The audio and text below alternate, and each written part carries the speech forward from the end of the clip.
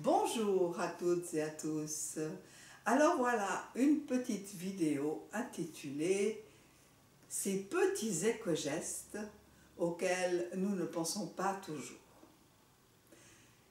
Et puis, on va parler particulièrement du sujet comment éviter le gaspillage à Noël.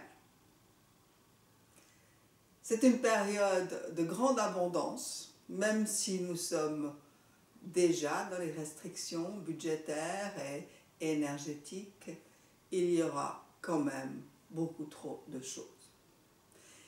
Et nous ne sommes plus à une période où nous, pouvons nous permettre de gaspiller tout ça.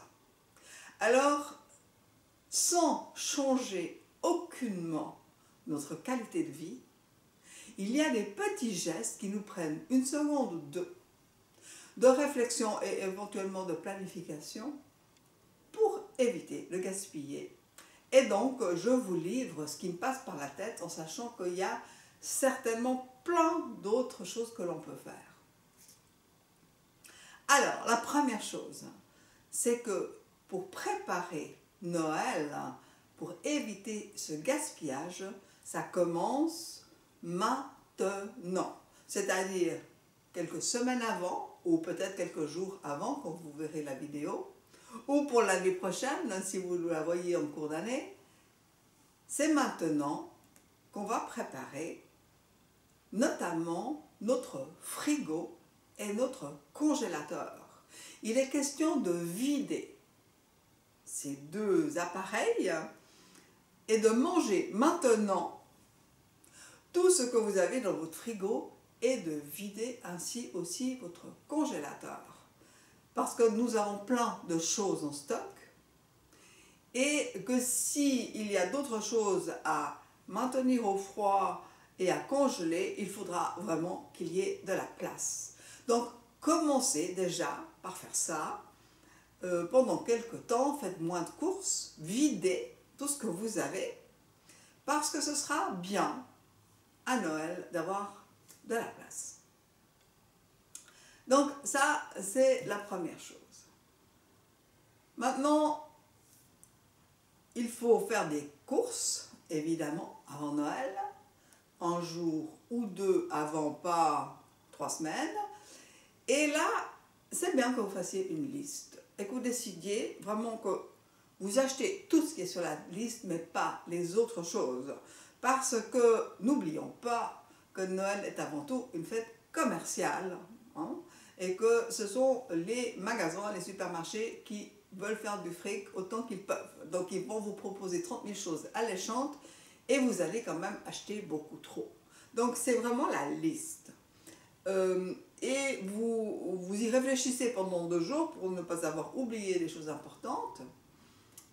Et puis ensuite, vous allez faire ces courses en ayant mangé. Ça, c'est quelque chose que tout le monde sait et c'est quelque chose que personne ne fait. On ne va pas faire des courses, surtout pour Noël, à 11h du matin. Là, si vous allez faire l'expérience une fois, aller dans un magasin, regardez, les caddies débordent. Parce que les gens ont faim et que le fait de voir les choses fait qu'on a envie de les acheter. Faites la même expérience, allez à 1h30 de l'après-midi et les chariots sont à moitié pleins. Donc, pour vos courses de Noël, faites une liste et allez acheter tout ça après avoir mangé. Ainsi, vous n'allez pas acheter plein plein de choses que vous n'aviez pas prévues. Donc, vous devez être plus futé que les commerçants. Maintenant, il y a le jour de Noël où il y aura beaucoup de nourriture, inévitablement. Prévoyez aussi de ne pas acheter de produits pour les deux jours qui suivent. Les deux jours qui suivent Noël, les deux jours qui suivent Nouvel An, ce sont des jours qui sont dédiés à manger les restes. Donc n'achetez pas des nouvelles choses, vous allez de nouveau être embêté. Donc, qu'est-ce qu'on peut faire avec les restes? Ben, Plein de choses vous allez faire carrément des plats différents pour ne pas vous lasser, pour que ce soit sympa. Il y a plein de choses qu'on peut faire. Ben, la première, c'est de récupérer notamment tous les légumes et d'en faire une soupe. Vous voyez, ça n'altère pas du tout votre qualité de vie. Vous recyclez les restes, vous en faites une soupe. Vous pouvez aussi, avec plein de légumes, mais même avec de la viande ou du poisson, faire des tartes. Faites des tartes. Faites des quiches. C'est très bon. Alors prévoyez juste dans vos courses d'avoir acheté une pâte à gâteau si vous ne la faites pas vous-même. Mais vous avez de quoi réjouir vos papilles, vos yeux, avec les restes, sans les jeter, les utiliser directement le jour qui suit.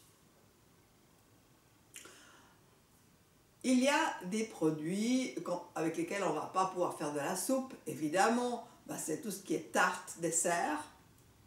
Alors, on peut peut-être avec certains en faire des mousses, on peut les mixer, ça dépend, faut voir. Hein.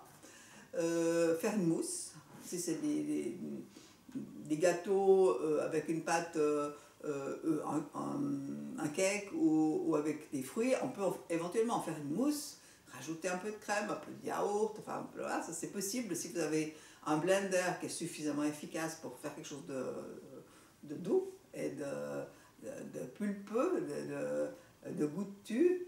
Euh, mais bon, les tourtes, les cakes les, tous les gâteaux se congèlent extrêmement bien. Donc, euh, si vous reste un demi-gâteau, mettez-le au congélateur. Voilà, ça, c'est vraiment, vous allez le ressortir euh, quelques semaines après, juste une, journée avant, et votre gâteau sera exactement le même que celui que vous avez congelé. Sauf peut-être avec certains fruits comme les framboises fraîches, comme ça, ça va peut-être un peu euh, être un peu défraîchi, sans changer la qualité, mais peut-être un peu la consistance. Mais le reste, ça reste exactement comme vous l'avez congelé. Donc congelez vos gâteaux, euh, tous ces desserts dont vous ne savez pas faire, la bûche de Noël, etc. Pas de souci avec ça. Et n'oubliez pas que si dans votre frigo, il n'y a vraiment plus du tout de place pour euh, maintenir frais certains produits, nous avons à cette période de l'année un frigo à l'extérieur. Et donc, il suffit de bien emballer vos produits pour qu'il n'y ait pas des bestioles qui puissent y accéder, euh, ou toutes sortes de petites euh, poussières, etc. Mais vraiment bien emballé, il y a plein de produits qui vont pouvoir se conserver dans notre frigo extérieur, c'est-à-dire l'hiver. Voilà, donc ça c'est pour euh, la nourriture. Euh, ce que je ne vous ai pas dit, évidemment, c'est que ben, tout ce qui est les vins, les alcools, quand il reste des fonds de bouteille et qu'on n'a pas tellement l'habitude de boire, ben, on va les garder pour en faire des sauces. Il n'y a rien de tel que faire, mettre un bon vin dans, une sauce. Voilà. Alors maintenant, il y a plein d'autres choses que l'on peut récupérer. Donc là, euh, on va parler un petit moment euh, des emballages et des papiers, des ficelles et tout ça. Donc il y a énormément de papier qui est utilisé pour Noël. Et rappelez-vous qu'à cette période de, restriction énergétique, il y a aussi des soucis pour avoir suffisamment de papier. le papier risque d'être en pénurie. Il y a longtemps qu'on nous en parle et donc on économise aussi le papier. Donc, la première chose à faire, c'est que quand on ouvre un cadeau, d'emballer dans du papier, ben, on peut l'ouvrir doucement, euh, respecter l'emballage, le papier, sauf les enfants qui déchirent, ça c'est autre chose. On les laisse déchirer, ils ont besoin de faire ça, mais nous les adultes, on peut quand même ouvrir comme il faut euh, délicatement un, cadeau et euh, on va réutiliser ce papier d'emballage une autre fois. Hein, pour un, un paquet peut-être un peu plus petit, on peut couper les bords qui ont été un petit peu abîmés, mais on peut franchement récupérer un papier d'emballage pendant deux ou trois fois.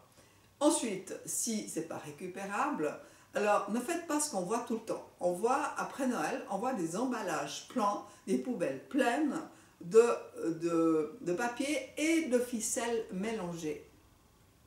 On ne peut pas faire de la récupération de papier euh, si on laisse les ficelles dedans qui sont des produits extrêmement synthétiques.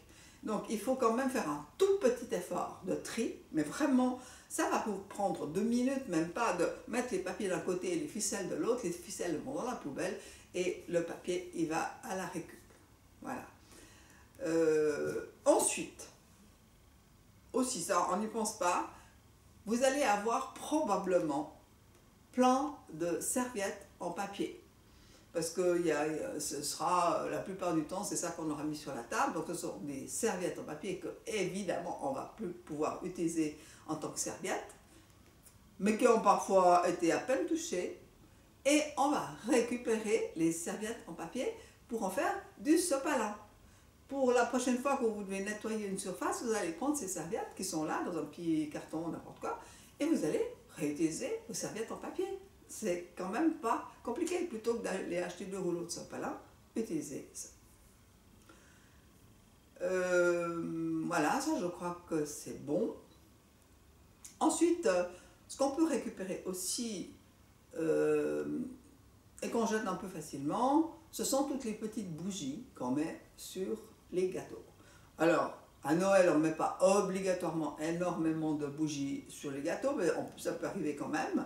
Donc je vous le dis maintenant, mais ça, ça, ça marche euh, aussi et surtout pour les gâteaux d'anniversaire. Euh, quand on met les bougies euh, sur un, gâteau, bah, on va les laisser brûler 30 secondes ou 40 maximum, et après on souffle, et après on jette tout.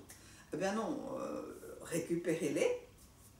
On peut les laver si elles ont un peu de crème qui colle, ça se lave très facilement. Moi j'ai des bougies que je récupère 5 ou, 5 ou 6 fois parce que chaque fois on en brûle qu'un tout petit peu. Pourquoi racheter toujours des nouvelles bougies Donc voilà, vous, vous observez dans ce que je vous raconte que vous n'avez, ça ne vous altère en rien votre qualité de vie. C'est juste un petit fonctionnement différent qui vous prend une seconde de réflexion. C'est tout. Ensuite, j'aimerais vous partager, et surtout pas vous dire que faire, mais vous partager les réflexions que nous avons fait en famille sur les cadeaux. Il y a beaucoup, beaucoup, beaucoup, beaucoup trop de cadeaux. Et euh, ben voilà, à la période où tout le monde gaspillait, il y avait de, l'argent partout, euh, etc. Bon voilà, on faisait comme ça. Maintenant, on arrive dans une autre période et il faut vraiment se poser la question de est-ce que nous avons besoin de faire autant de cadeaux à Noël? Je pense que la réflexion elle est différente des cadeaux pour un anniversaire. Parce que pour un anniversaire, il y a une personne qui reçoit et c'est aussi une manière de, lui dire on t'aime, on, est heureux que tu sois là, euh, on a envie que tu ailles bien. Enfin voilà, donc il y a un message personnel dans les cadeaux d'anniversaire. À Noël, ce n'est pas le cas. En fait, il y a des cadeaux qui circulent dans tous les sens. On reçoit plein de trucs, on ne sait même plus qui nous les a donnés. Et il y a beaucoup, beaucoup, beaucoup, beaucoup de choses très inutiles. Euh, alors déjà, première chose, bah, sélectionnez dans les cadeaux que vous allez acheter, ne pas euh, nourrir l'industrie du plastique. Hein. Il y a du plastique partout, donc est-ce que c'est en plastique? Est-ce que l'emballage est en plastique? Euh, C'est quoi la matière de ce que je vais offrir? Et est-ce que c'est une babiole ou un bibelot qui va se poser sur une étagère dont on ne saura que faire? Donc ça, franchement, ça n'améliore pas notre qualité de vie de recevoir plein de trucs comme ça. On ne sait plus qu'en faire. Surtout à mon âge on a à peu près tout ce qu'il nous faut. Tout ce qui arrive est en trop. Et on ne sait pas qu'en faire. On n'a pas tellement, on n'ose pas tellement s'en défaire parce qu'il y a, y a l'autre qui va le voir. Euh. Enfin, c'est problématique. Donc nous, on a, dans notre famille, on est 15, donc, donc il y a 5 enfants. Et on a réfléchi, euh, il y a plusieurs années déjà, qu'est-ce qu'on allait faire? On a, on a fait des étapes. Euh, la première, ça, a été de dire, bah, on fait plus des cadeaux à tout le monde, on fait un gros cadeau par personne, hein, adulte, et on donne des cadeaux aux enfants, parce que les enfants, c'est un peu leur fête. Et, pour faire ça, on a fait ça pendant plusieurs années, donc on, on, mettait un chapeau euh, avec les, les, prénoms de tout le monde au mois d'octobre ou novembre, chacun tirait le, prénom de l'un des autres et, en fait savait que je vais offrir un grand cadeau à lui ou à elle, mais pas aux autres. Et c'était OK comme ça. Et on a donc beaucoup, beaucoup diminué euh, les montagnes de cadeaux euh, qui servent à rien. Et on a beaucoup diminué aussi justement la pollution avec ce système-là. Et, et, ça s'est très bien passé. Et puis, il y a 2-3 ans en arrière, on a carrément choisi mais vraiment d'un commun accord qu'en fait les adultes, on n'a pas besoin de recevoir tous ces cadeaux à Noël. Donc on a dit, bon, on arrête, euh, on ne fait plus des cadeaux pour les adultes, on fait des cadeaux pour les enfants. Et donc ça suffit amplement. Donc Je ne vous dis pas qu'il faut faire comme ça, chacun fait comme il pense, mais sachez qu'il y a des options. Vous allez peut-être en trouver une autre, mais diminuons un peu ces avalanches euh, qui, sont, voilà, qui ne sont pas utiles, qui embarrassent tout le monde en plus, et qui polluent. Voilà, bah écoutez, c'était mon partage euh, pour éviter les gaspillages de Noël. J'espère que vous avez trouvé une petite idée là-dedans. Et peut-être que ça va stimuler chez vous d'autres idées. Alors partagez autour de vous. C'est que comme ça qu'on fait avancer les choses. C'est en faisant évoluer la conscience euh, collective euh, et que les gens prennent conscience progressivement des, des choses qu'il faut changer pour que ça aille bien sur cette terre. Et donc, je vous souhaite à tous de magnifiques fêtes, euh, que ce soit les fêtes de Noël, que ce soit le Nouvel An, vraiment beaucoup de bonheur. À plus.